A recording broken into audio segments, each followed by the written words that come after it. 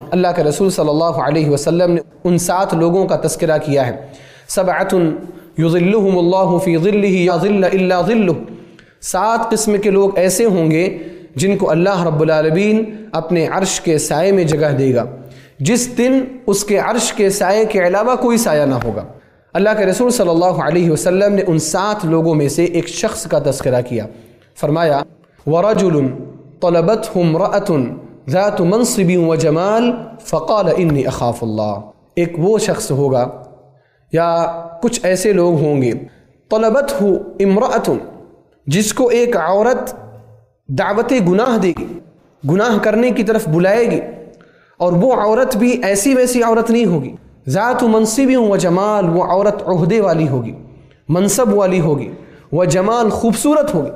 اس کا خاندان اچھا ہوگا، اس کا نصب اچھا ہوگا۔ اس کے گھر والے اچھے لوگ تصور کیے جائیں گے۔ وہ جمال اور اس کے پاس خوبصورتی بھی ہوگی۔ وہ ایک شخص کو دعوت گناہ دے گی۔ فقال انی اخاف اللہ اور وہ شخص کیا کہے گا کہ میں اللہ رب العالمین سے ڈرتا ہوں۔ اللہ رب العالمین کا خوف اس کو اس گناہ سے محفوظ رکھے گا۔